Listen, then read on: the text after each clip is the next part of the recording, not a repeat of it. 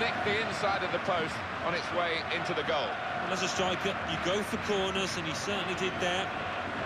That's a goal well worth analysing again.